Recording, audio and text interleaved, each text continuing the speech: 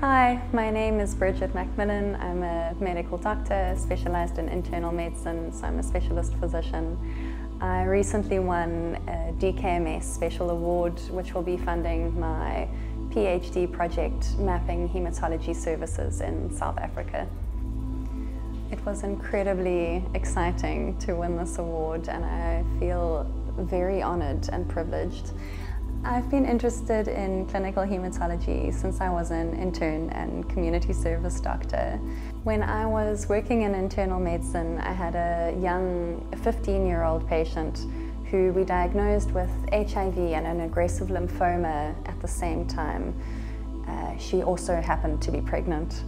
It was extremely challenging to diagnose her, to get treatment into her. And the beauty of hematology is that if these diseases are caught early enough and we can treat them well, these patients have brilliant outcomes. And uh, six years later, she sent me an email to let me know that she was still well. And these are the things that um, are so rewarding about, about hematology and in treating these patients. My research project is called Mapping Hematology Services in South Africa and is going to be looking at all of the different facilities that are able to provide hematology services in the country.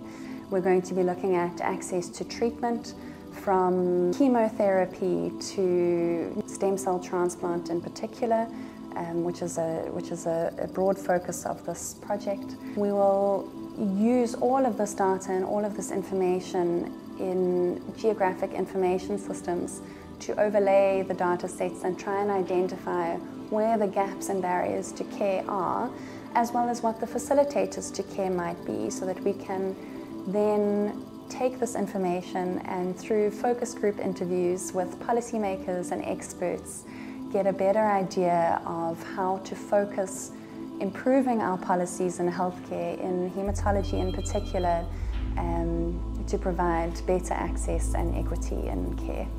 We know that we have inadequate services for the diagnosis and management of blood cancers or hematological diseases in the country. There are many obstacles facing patients who need transplants in South Africa.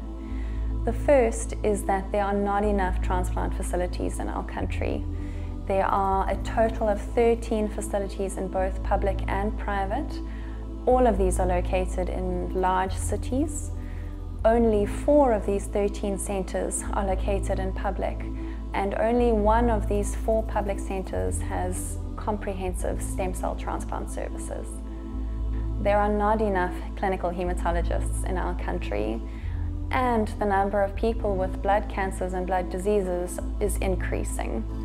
There are only around 60 actively practicing clinical hematologists in South Africa at the moment to serve a population of over 60 million people. This is about one clinical hematologist per million population.